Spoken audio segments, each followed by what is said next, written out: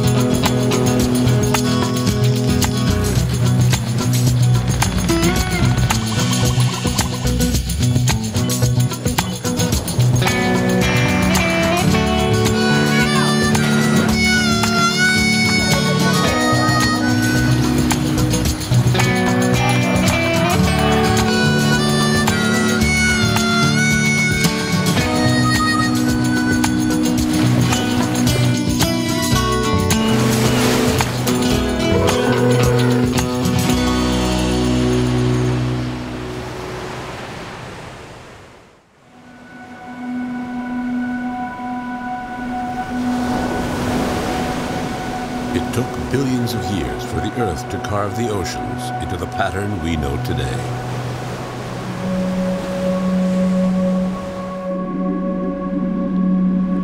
Hundreds of millions of years of evolution and adaptation have resulted in the creation of countless species that interact to form the largest ecosystem on the planet. Deep in the ocean blue, every species has a role, its own specific function, in the delicate balance among all species.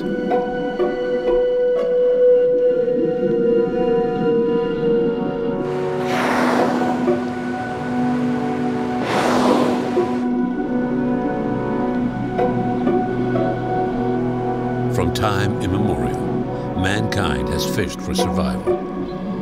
The never ending challenge is how to share the sea's resources with other species that depend on them.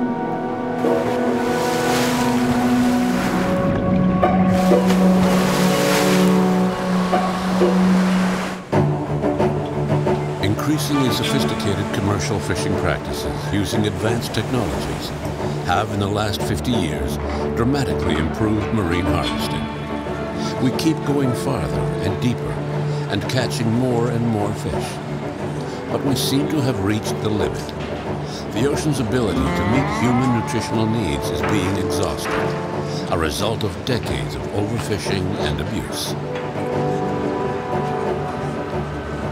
Scientists consider that if nothing is done rapidly to correct the situation, we will see the collapse of commercial fishing within the next few decades.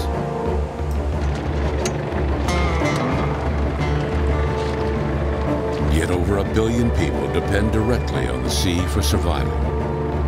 The future of many societies may well hinge on whatever conservation measures we are prepared to introduce over the next years.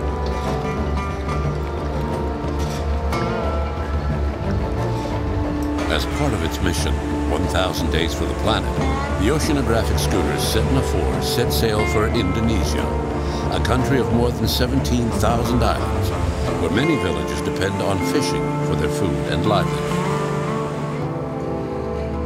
Chief of Mission, Jean Lemire. We're heading to Bali, an exotic island surrounded by coral reefs, known for its remarkable marine biodiversity. Located in the heart of what we call the Coral Triangle, the islands of Indonesia harbor 76% of all species of coral. These reefs provide shelter and food to 37% of all the coral dwelling fish on Earth. This amazing variety of species has led to a thriving commerce in aquarium fish. It's a lucrative business valued at around $1 billion annually, all categories combined. Of the 40 countries that export tropical fish, Indonesia and the Philippines supply at least 85% of ocean fish to the world's aquariums.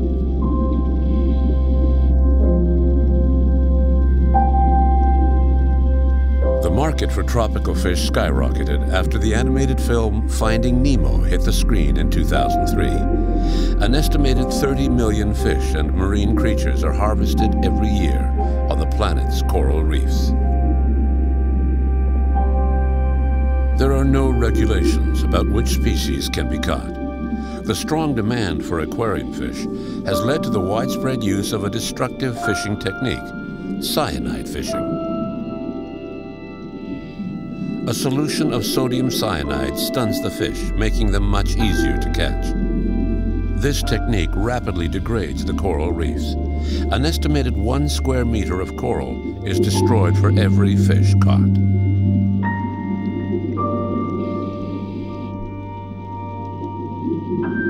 Cyanide blocks photosynthesis in the algae that live symbiotically with the corals, depriving them of their main source of food. Cyanide, even in minute quantities, kills the polyps, leading to the death and the bleaching of the corals.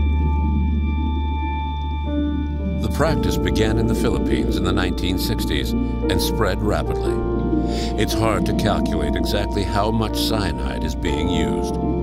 Scientists estimate that over 1 million kilograms of sodium cyanide is spread on coral reefs every year. Cyanide fishing is against the law in a number of countries, but enforcement is haphazard at best.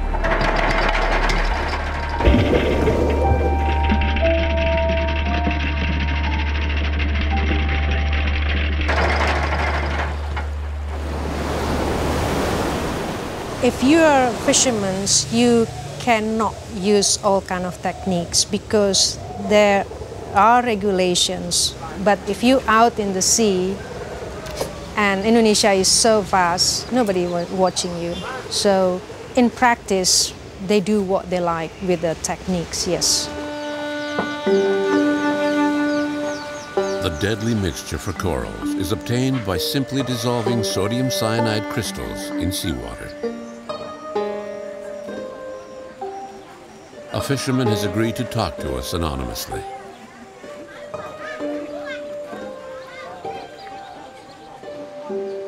What is the effect of cyanide? Dampaknya ikan tuh kan mabuk dia. Cyanide Jadi stuns the lebih fish. gampang lah nangkapnya.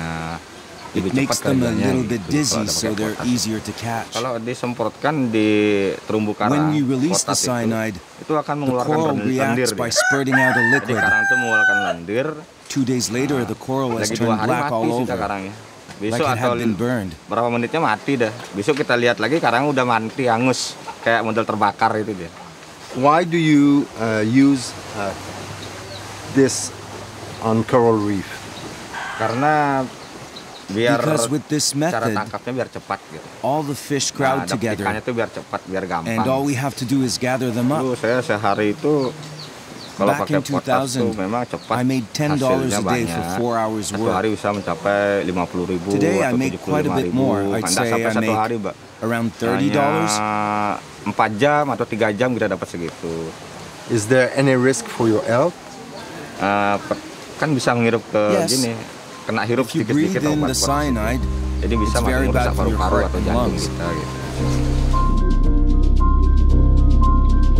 International pressure has forced local authorities to take some action. But these few police interventions are the exception and often end without official sanction.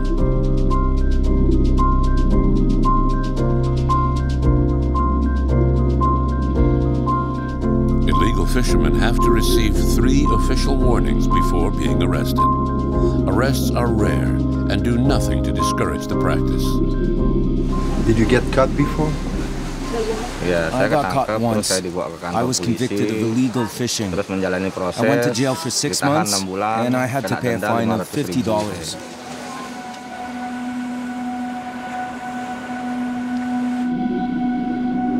Indonesian fishermen also use this technique to catch fish intended for human consumption. Increasingly popular in Asia, the fish will be transported live to restaurants around the world, displayed in tanks, and served at premium prices.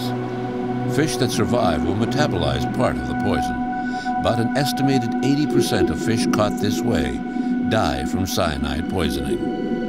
The fish that stay alive, that are caught with cyanide, and they actually make it to the consumer markets, you know, there's not so much known about the effect of eating that. But many fish that are caught with cyanide die, and those fish are still sold, and they end up at the local market. So you can imagine that the local communities who eat that fish because it's dead and they don't waste it, they actually probably have a lot of risk of taking a lot of cyanide that's still in the fish. That's what it died from. And they, they build that up in their body, but it can't be good for people.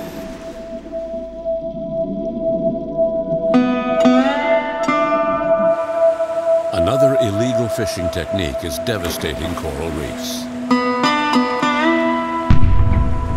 Blast fishing. This technique is fatal. It kills the fish and utterly destroys the structure of the reef. People use bombs to throw at big schools of fish and then they can just scoop up the fish out of the ocean. It's a very easy way to catch a lot of fish in not so much time. You just explode a small bottle. They usually use, uh, you know, soft drink bottles. And if it's very close to the coral reef, you have a crater of about a meter. It's devastating. This fish, when it gets to the market, is damaged. So this goes to the domestic market. This is eaten locally.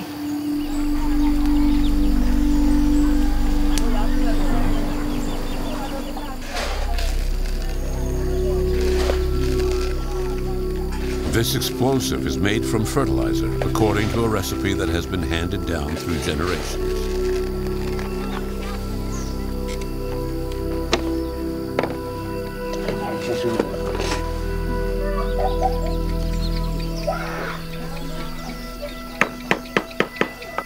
Is there lots of people around here who use uh, the blast fishing? Eh, Not as many as before, but some of us still terlalu do. Why do you use uh, blast fishing? Karena saya menggunakan ini mau karena dengan It's easier to feed my family. Dengan cara mencari ini saya gampang This way I can harvest a lot of fish in a short amount of time. saya, ya, istri dan anak saya. But now you understand the, all the damages that uh, that uh, it will make to the coral reef. Nah, Salah satu alasan Yes, I know. ah, It destroys everything. The reef and the fish. jadi ikan tidak bisa It's main hard for the dekat-dekat, resource to recover. There are laws on the books banning all forms of illegal fishing. But in a huge country like Indonesia, enforcement is often sorely lacking.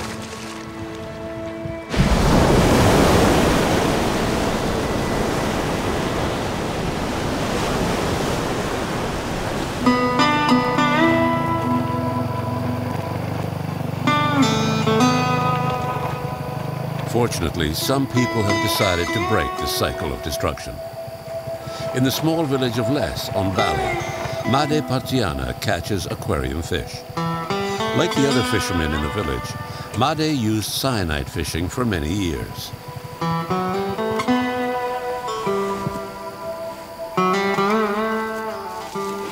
Eh, masyarakat di sini eh, rata-rata pada saat itu When I was di young, sini in eh, the ikan hias itu mulai itu 80s, sejak tahun 80-an yang saya tahu. the ya. coral was Dari tahun populernya sekali dari healthy. tahun 86 eh, berkembang. eh, But in the pada early saat 90s, itu nelayan di sini the reef started berkisar sampai die. 200-an lebih untuk nelayan ikan hias. Dan daerah tangkap They mereka bukan hanya di perairan Bali tapi juga ke luar Bali. Dampak daripada potasium itu sendiri yang saya it lihat was a true dari tahun 80-an itu saya lihat ya mungkin saya belum The fish had no ikan more hias. coral saya to melihat shelter eh, in kondisi karang to pada saat itu cenderung lebih baik.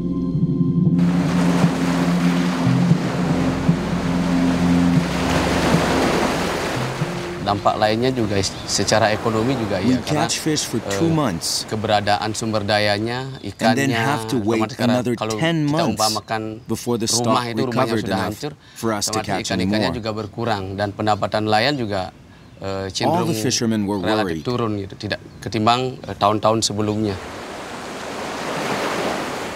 yang terjadi di sini ya masyarakat dalam kondisi kebingungan Then yang the pertama in karena alternatif lain tidak ada dari pemerintah fishing. sendiri juga eh, ketika hanya memberikan pelarangan jangan menggunakan potasium jangan menangkap ikan dengan cara merusak tapi eh, But we still had to look belum after ada alternatif families. yang bisa diberikan hanya sekedar pelarangan saja seperti itu.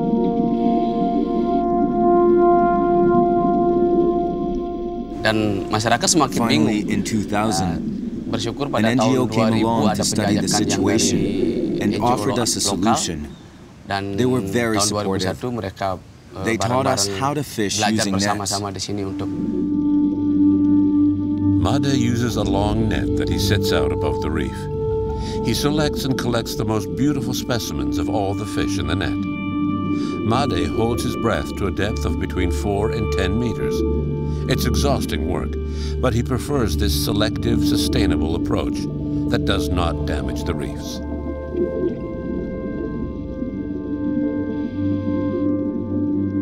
what we are told that they, they already fish for ornamental fish since 80s. Now in that years, the early years, they're using the net, the mosquito nets. And then their exporter came to us and they the one who introduced cyanide. Cyanide was brought to Indonesia by the Philippine uh, uh, fishers, yeah, to collect the high value fish.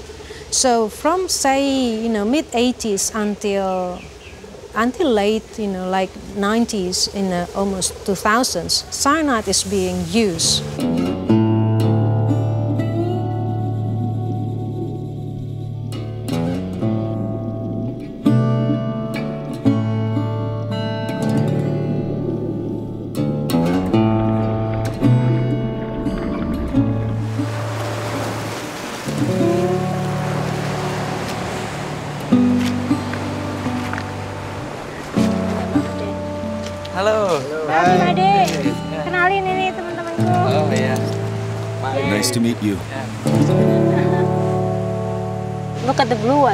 Yeah. Cool. So this is one dive. Satu kali nyelam ya? Yes. Just Wow. one. When did Berapa you lama start to work? Dari jam Since 8 eight. sampai kira-kira It's jam 2 o'clock, 2. so now I've been Okay. working for six pagi hours. What's the next step now? Langkah selanjutnya apa Made? Ya, I will sort them out and put them in plastic masukkan ke bags with uh, plastik a little added oxygen. Oksigen. Then I take them to my dikirim buyer. Ke pengepul. You want to go with him to the middleman, Cien? Sure. Boleh ikut ke pengepul? Iya. Okay, boleh. Ya, I'll get it all saya ready and we'll go. Nanti kita bisa bersama-sama ke. Oke, pakai apa packingnya? Oke, plastik.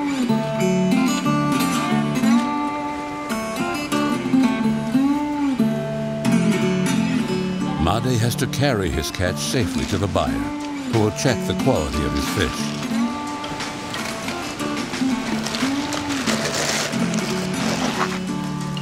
Dari ban ya. Oxygen stored in the inner tube is transferred to plastic bags to keep the fish healthy during transport. Over time, this exceptional fisherman has been able to create a real demand for his high quality fish caught in a net.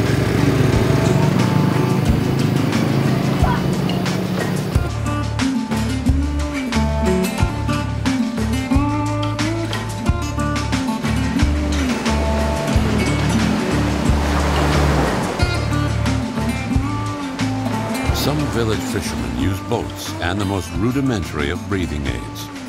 Their gear consists of a small compressor, a bit of tubing, and for a lucky few, a pressure regulator. Thus equipped, fishers can descend to depths of up to 40 meters.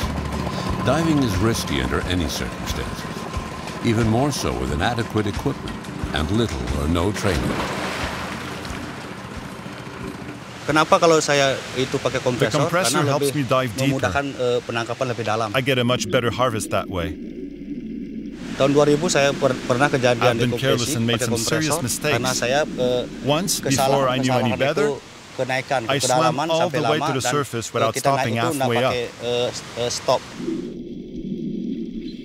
Pertamanya di sini dan keduanya ada I dari LSM dari Denpasar net, and eh, put in an saya hyperbaric ke chamber. Denpasar sampai saya eh, dapat chamber dua kali, dua kali.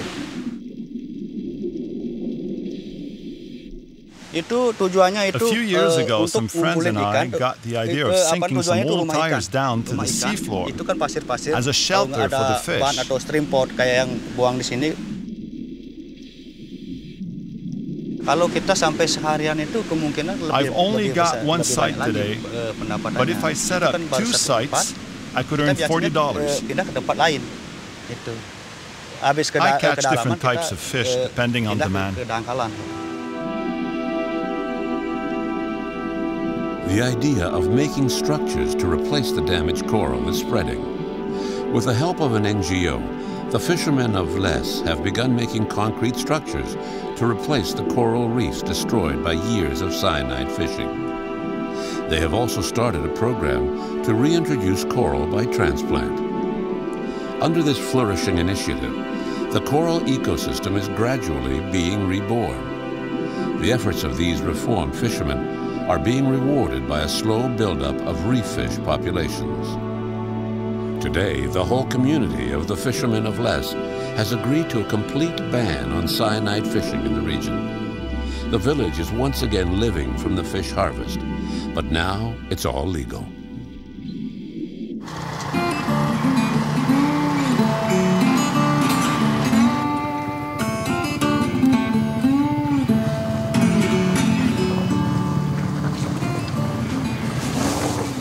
Fishermen bring their catch to Mr. Picassi, the local buyer.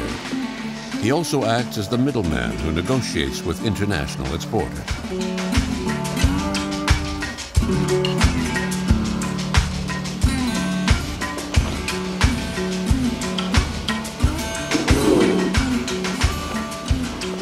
Every fish is inspected and evaluated to guarantee quality. One damaged fin automatically eliminates a fish from the process. Which one is the, the most precious one? Oh, ya, di antara semua ikan ini ya, yang warnanya fish. biru ini Mahal itu ya? eh, It's around a kira-kira dollar fifty. dari 15 sampai 20 ribu. That's the price that you know the fisherman Yeah, will that have. Nadiket, yeah. Yes. So what's the price when you know it goes to the uh, to the guy in Dem Denpasar? Es ini kecil. This is quite a small one. I'll pay the local fisherman a dollar fifty for it. Jual dua. At Denpasar, I'll be able to sell it for two dollars. Dua puluh lima ribu. And then from Denpasar, it will go. It will take the plane We'll take the plane to Hong Kong. Hong Kong, and then after Hong Kong, they spread it to the world. U.S., Canada, Europe, you know, and then we have no idea what price could be. But the clownfish is the most popular. Iya. Ya ya, Sangat. yang paling banyak dicari Yeah. uh, clownfish ya, ya, ya, most popular. I think it's about the movie, yes. Because of the movie? Yeah. Yeah? Are you serious? Yeah. So semakin What mudah ditangkap, semakin murah ya. Eh, dan juga ini The price depends on how keberadaannya di rare the type of fish populasi ikan is, tersebut kalau misalnya keberadaannya banyak and also how difficult murah they are to kan catch. mudah didapat Oke. Bisa melihat perubahan Do di antara sebelum masih pakai potasium, masih the pakai types cyanide, of fish sama caught setelah and sekarang. numbers? Perbedaannya apa Pak? Sangat sangat Yes, a ada huge perubahan. difference. Karena dulu kan Now that we've stopped using cyanide, itu terumbu karang itu the dead reefs mati are coming hitam back itu. to life. Semenjak slowly. tahun 2001, The varieties 2002, of fish 2003 we sudah hadn't cerah seen for a long time kembali. are gradually Jangan returning. seperti sekarang ini dah. Before, with cyanide fishing, about 5% of the fish would die. Saat- saat Now the mortality rate is down to 2%. 2%. Ikan kematian. And one typical day, how much money you will earn? 75.000 Typically. I earn maybe $7 on a bad day. and up to $15 on a good day. sama sekali. Ada pada saat It all eh, depends on weather conditions, ocean conditions, especially the height of the waves. 150. Made earns about 10 cents for a clownfish. The most expensive fish can go for up to $2, but they are few and far between. Fishermen naturally search out the most lucrative species, and yet they are often the most endangered. There are no regulations here, nor any scientific monitoring to assess and track the state of marine populations. Mr. Pakassi's fish will travel to Denpasar, the capital. How many fish in this load today? Berapa nih Pak kira-kira uh, ikannya berapa? Eh, ini semua On this trip, I have around 2,000. Biasanya saya tiga Usually I have three times more than that. So in three or four days, memungkinkan kan sudah if ocean conditions allow, gelombang besar. Ini baru I'll travel to Denpasar with 6,000 fish. Satu hari setengah lah. And how many fish will survive the transport? Ini sudah satu minggu ikannya yang pertama. The mortality rate eh, tapi is ya less than 1%. seberapa gitu lah. Karena dia As a ada rule, gangguan if fish die during transport, mati, it is due to human error. Karena dia na- airnya nak mengalir. Nah, And of course, sometimes itu biasanya the ya bags can burst during the mati 10, 20 enggak masalah.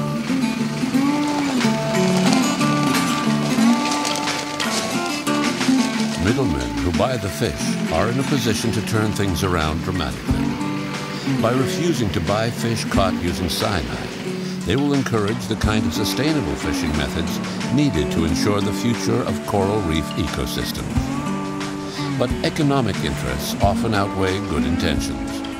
In the lucrative market of exporting fish for human consumption, there is still a lot of work to be done. If you catch fish with cyanide, they're not in a very good condition. You can imagine that if you have to ship them out for so many hours before they reach the market, many of them die. So we've always thought it doesn't even make business sense to use cyanides and, and you know lose so many of your catch because it's very expensive to transport them. If you look at the uh, percentage of fish that is exported uh, now from Indonesia, uh, where you could say it's probably coming from cyanides, uh, it's still around 40%. That is much less than years ago, when I was just saying five years ago, I think the majority, maybe 80 to 90%, came from cyanide fisheries, but it's still a lot. It's impossible to tell with the naked eye whether these live fish were caught using cyanide, but they are still widely available on the market. Cyanide is a powerful toxic compound that binds to hemoglobin, blocking the transport of oxygen. Though it may be difficult to assess its long-term impact on human health, the risk is real.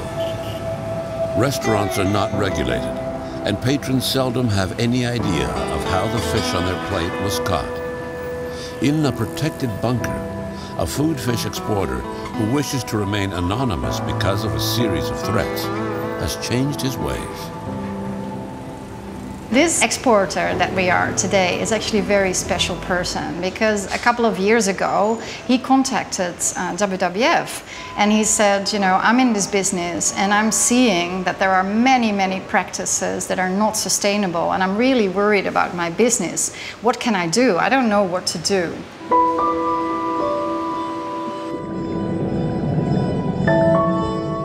The exporters set up a network of fishermen who are restricted to net fishing. Their catch is destined for big city restaurants. Using cyanide is strictly forbidden on pain of expulsion, and participating fishermen get better prices for their fish. The fish, especially groupers, are handled with great care by a team trained to the highest standards. This exporter doesn't buy cyanides fish. He doesn't buy fish that is too small. Uh, he doesn't buy fish that you know uh, has the eggs, is ready to spawn. So he does everything that he can do. I think he is the best example of you know a future where you can have a sustainable business and make money and support all these fishermen in these remote places. However, he's the only one and he's just by himself and there's not enough support by the government to work on the other exporters that actually still have very very unsustainable practices. The exporter has also designed oxygenated transport boxes so the fish can breathe better during long international trips. He has managed to convince some airline companies to accept these transport boxes equipped with an oxygen cylinder for shipping on cargo planes. This exporter's pioneering initiative doesn't please everyone. He has to operate under high security. Other exporters who use cyanide do not appreciate competition that breaks the mold. But the demand for clean fish is gaining ground, and some restaurants are ready to pay a premium for a product that meets the highest standards.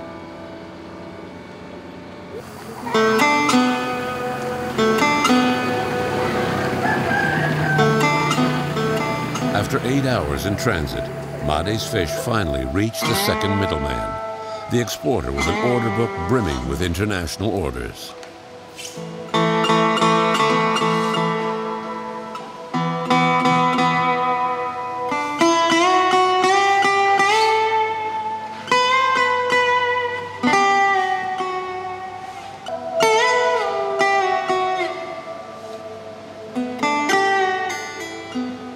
The fish come in, usually they come in the morning. We open the bags, let them sit in the screening area for four or five hours. After that, we move it to a quarantine system. We keep them over there for a few days to see if there's any problem, disease uh, or broken fins, those kind of things. So after a few days of quarantines, we move them to our regular systems.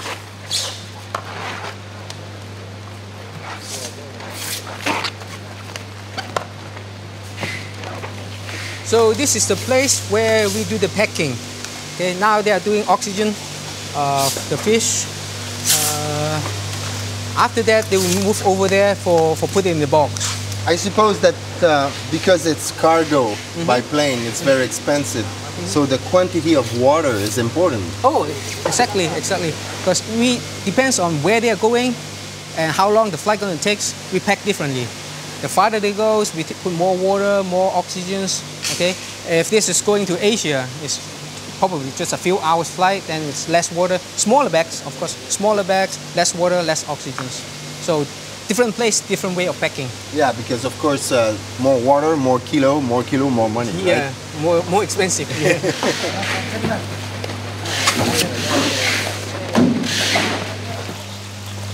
this is Pakesi. He's my good supplier, and every week he bring fish to us. Okay, so his fish is uh, all net caught, no uh, any uh, cyanide or any medicines. So we really like his fish, and we can see the difference from him and then the other other Oh, yeah. supplier. And is there a way that you can see if uh, a fisherman use cyanide? It's very difficult when the fish just come in and to, to tell the difference between cyanide caught or net caught. So what we need to do is have a really, really good relationship with our supplier and we know the history of the fish and we can trust this supplier. And this, of course, need years to, to build this trust. This is Nemo, right? Yes. And this is the new star when Disney will release a new film, Dory, mm-hmm. which is a blue tang, right? Right, that's true. What was the impact of the film Finding Nemo on the business? Oh, that was huge. It was a big help for the for the business because everyone was looking for for Nemos for, for this clownfish. We think there would be a huge demand for this fish, and we already prepared for it. Hopefully, in two years they are they are ready. You know, uh, we have a, a lot of stock for the customer.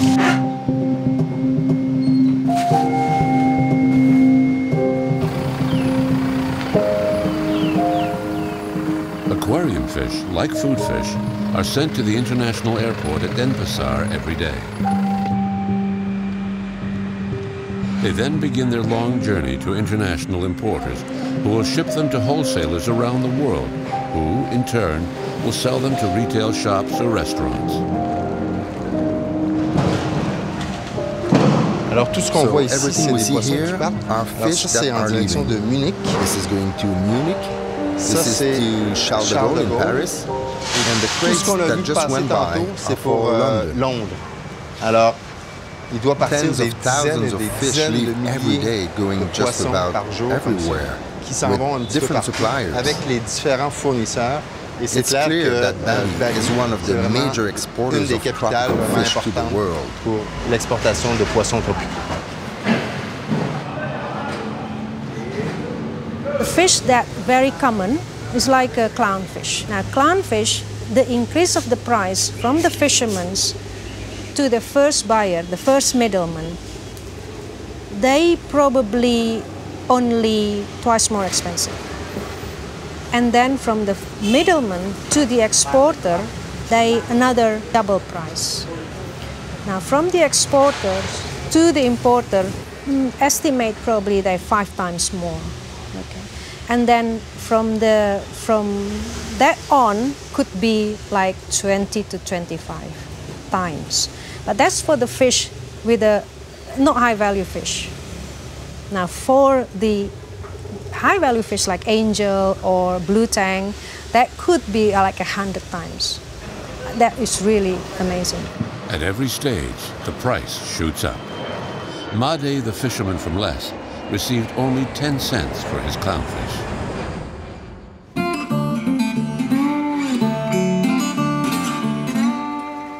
Market is expanding exponentially, putting more and more pressure on fish populations. Fish farming could help to meet the skyrocketing demand for both aquarium fish and food fish. Balinese entrepreneur Mr. Chu has an extensive operation. This reproductive center for exotic fish is one of the few to successfully breed some species of fish in tanks. sama betta fish. Ini kita taruh angel di sini. Eh. Angel fish. Yeah, angel fish. And you can breed them. Oben ya kami sudah ada empat jenis sudah bisa sukses. Eh. Yeah, he, he's, he's breeding. It's like four four species now. Ja- Jadi This is less damaging for the banyak ya environment. untuk ikan makan. I'm here Sekarang every kita day looking after ganti ini, things. ya.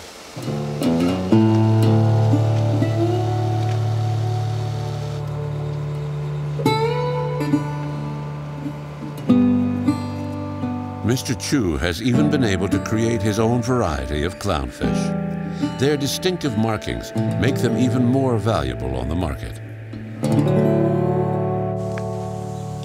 How many clownfish did he send around the world in the last year? Around one million. So what will happen uh, when they're gonna release the, the new Disney film Dory? Itu bisa bikin hampir mungkin These separuh fish are ikan very laut difficult to reproduce. Oh, jadi kalau So bisa bikin tori kita succeed, bikin ya I'll be kerja a bikin millionaire ya, for sure. cukup. okay, yeah. Tapi I hope we'll be kita able to lebih meet the ambil demand banyak with ikan farm fish and leave the rest in the jangan ambil dari ocean.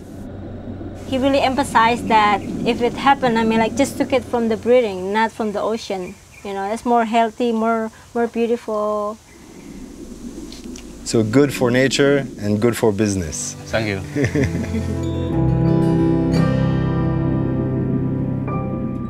So what do we have here? Ini ada Napoleon. Oh, Napoleon. Yeah. Bisa nggak pak? Oke bisa. eh. Napoleon fish numbers have dropped by 50% over the last 30 years because of strong demand on the food fish market.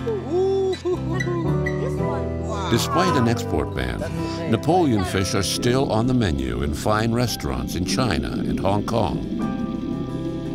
Unconcerned by their protected status, your chef will prepare a Napoleon the way you like it for the tidy sum of 250 to 300 US dollars a kilo.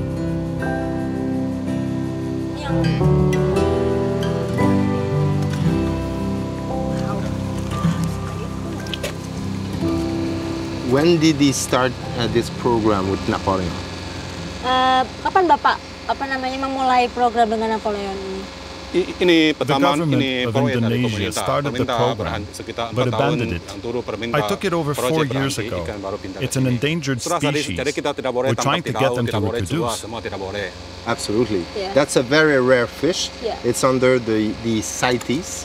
Yes. So it, it cannot be exported to other country. And if he's successful breeding it, For science, it's going to be a science, it's gonna great be victory. Yeah.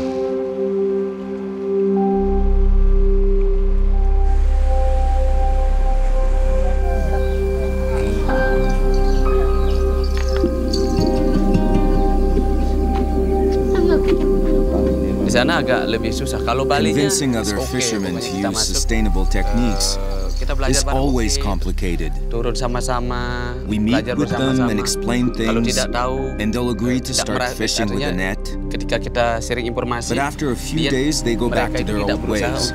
mereka kalau tokohnya misalnya So now what we do is link up with one local fisherman who then becomes our ambassador to the other fishermen in the area. Dan tentu juga dengan eh, But it kerja takes yang time. ekstra karena tidak hanya satu kali kita ke sana terus mereka people, juga bisa melakukannya tapi to really sekarang datang understand tujuh hari is a long process.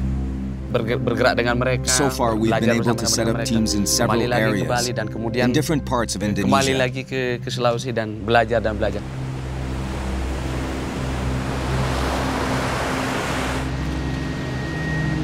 Unfortunately, nothing is black and white. So the problem is not black and white. You cannot say that these small scale fishermen are criminals, you know. It's for them the amount of money that they make is very very small. You cannot buy this fish for a good price and, and only pay, I don't know, a few percent of that to the fisherman who's doing all the work and this is all he has. Something has to change in terms of, you know, the value that the fisherman gets. If he gets a little bit more, maybe, you know, he's also more careful with the environment. So it's important to understand who benefits most in this industry. And there's always, I think, a case to make that the fisherman who is responsible should get a fair price. Over a billion people depend directly on fish for survival. It's the most highly sought after source of protein on the planet. And the global population boom will only increase demand for ever more fish.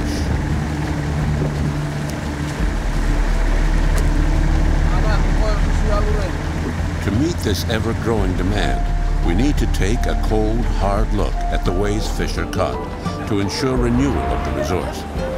Blast fishing and cyanide fishing, already banned by law, must be subject to heightened monitoring in order to halt the disaster now in progress.